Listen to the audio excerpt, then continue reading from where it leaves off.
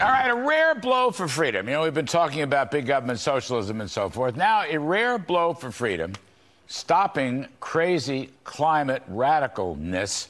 Joining me now to talk about it is the great Rick Perry, former energy secretary, former governor of Texas. Rick, it is a pleasure to see you.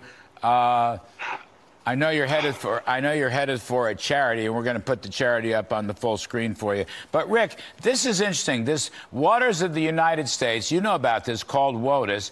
You got a judge down in Texas, I guess. Anyway, they overruled. They cannot. The EPA cannot do to Texas and Idaho and other states ultimately what they tried to do, which would effectively shut off the water supply, all in the name of uh, climate change and you know clean water. So this, I think this comes from West Virginia versus EPA too, a Supreme Court decision. But it's a rare blow for freedom, it seems to me. What you thinking?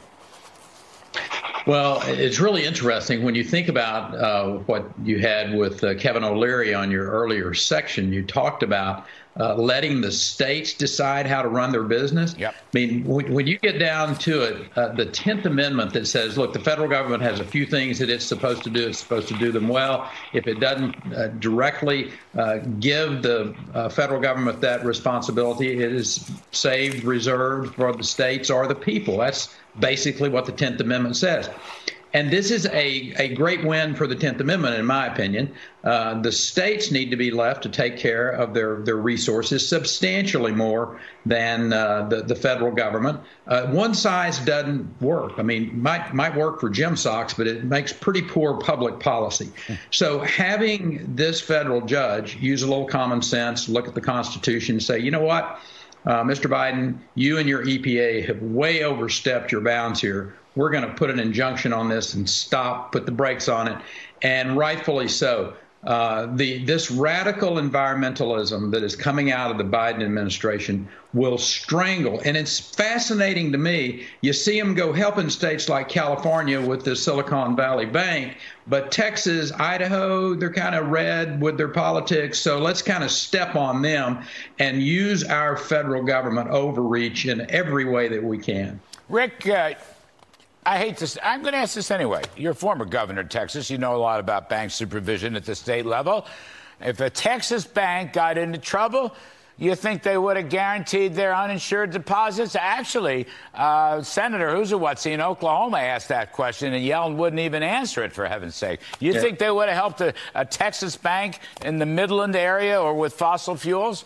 I doubt it. Oh, that, that's the great one right there. You think if a Midland uh, bank, one of the big fossil fuel uh, banks, were to go upside down, would they step in? Well, the answer is not only no, but hell no. Mm-hmm. Uh, this administration is completely and totally biased towards its radical agenda, and we've got to we, we got to get this country back in, in shape. Whether it's uh, uh, you know uh, electing folks the next election cycle that doesn't allow uh, the Biden administration just to run roughshod over this country. It is it's it's it's a scary proposition when you think about where this country is headed, both economically, socially, and otherwise. One uh, last one, uh, Rick Perry. This UN put out another report. This is one of these crazy climate reports, okay?